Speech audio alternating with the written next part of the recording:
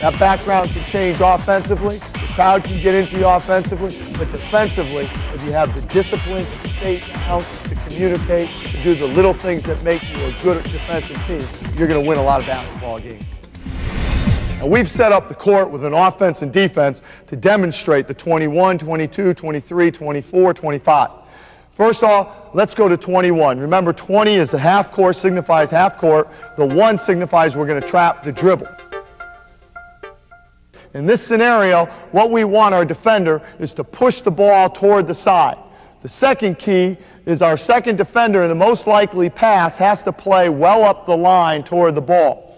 As, as we turn the ball in this situation, defenders up. As the ball crosses midcourt, this defender comes hard at the ball a lot. Our nearest defender is going to take away the most likely pass.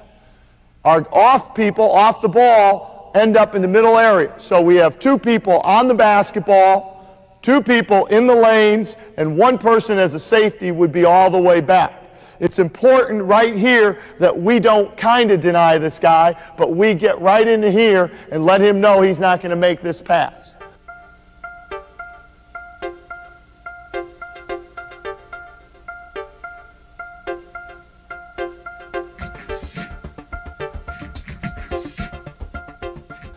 If we wanted to go to a 22 series,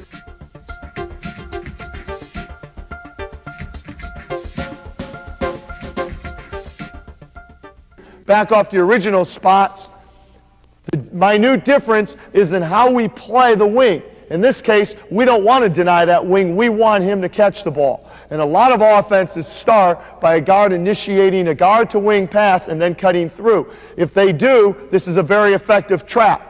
This time the ball crosses midcourt, and as it's passed, the defender on the ball goes and follows.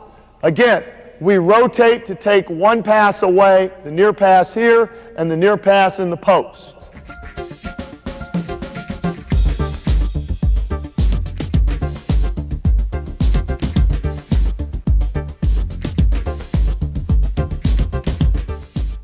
Let's go to 23.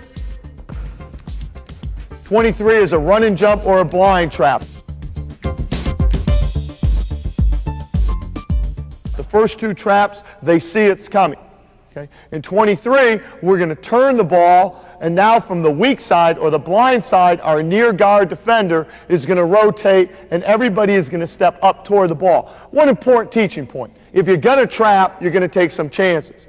Don't end up with cautious players in terms of people down on the baseline. When a trap is coming in the midcourt area, you need all of your defenders up to the free throw line extended. Make somebody try to throw a lob pass over the top, and you've won half of the battle. Okay, in this case, let's come from the blind side. We turn the ball, and here's our trap situation. The rotation would come to take this away and still allow us plenty of recovery time.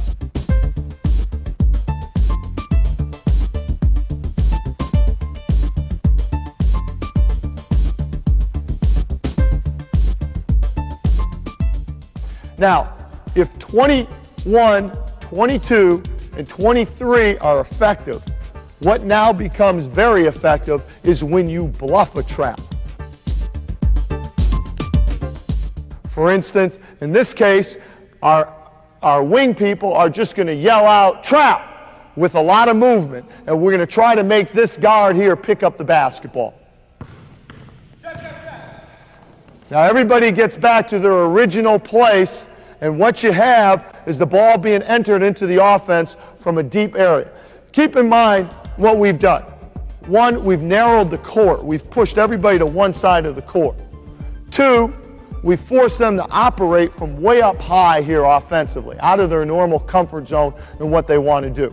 Three, if we could get a steal, great. But if we could force a turnover or force a bad shot or take them out of rhythm, we've executed all of the good things that are going to happen to us. What we want to do is make sure we don't give up an easy shot.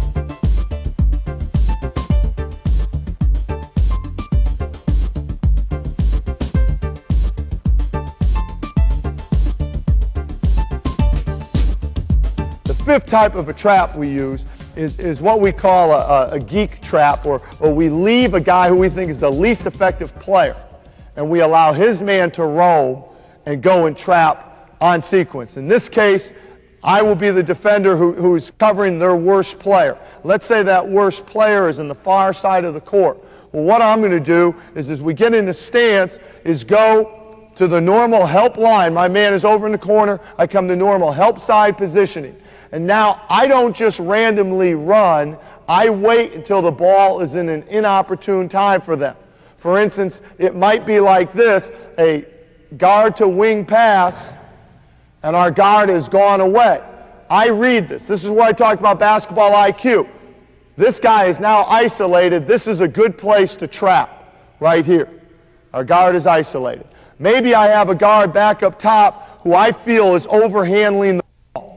And so I start to move all the way up here and I pick a spot. Now, I need help from my defender. What he has to do is just play the ball keep his head on the ball at all times, and that'll allow me to come hard.